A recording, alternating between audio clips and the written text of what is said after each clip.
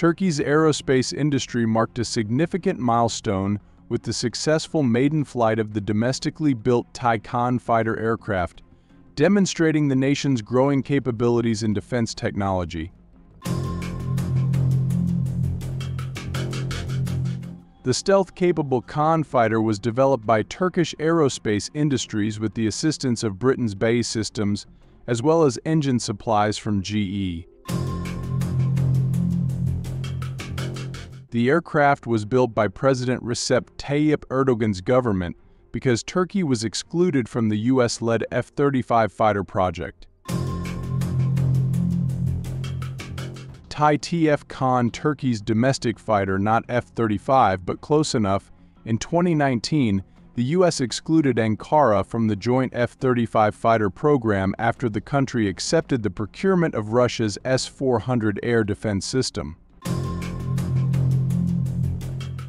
As previously reported, Washington and NATO argued that the F-35's cutting-edge technology could not coexist with a platform that could serve as a Russian intelligence-gathering vehicle.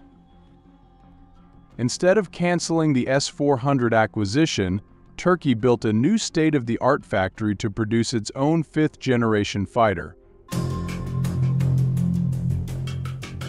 Turkey's fifth-generation fighter jet specifications speed 1.8 Mach, use AESA radar, dimensionally, the single and double seat Kaan fighter jet is 21 meters long, 14 meters wingspan and 6 meters high.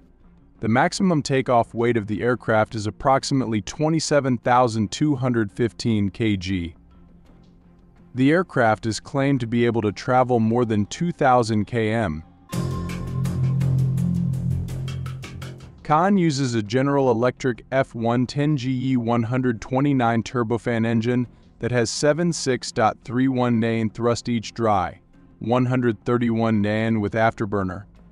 This aircraft engine is claimed to be able to reach a maximum speed of 1.8 Mach and bring the aircraft to a maximum altitude of 17,000 meters.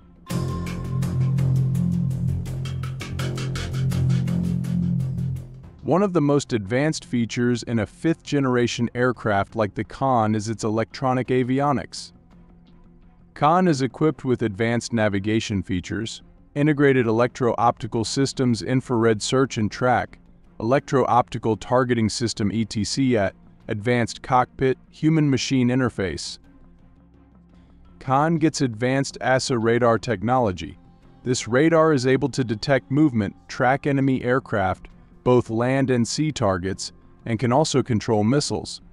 The radar is so advanced that only the US, UK, France, Sweden, and Israel can make it.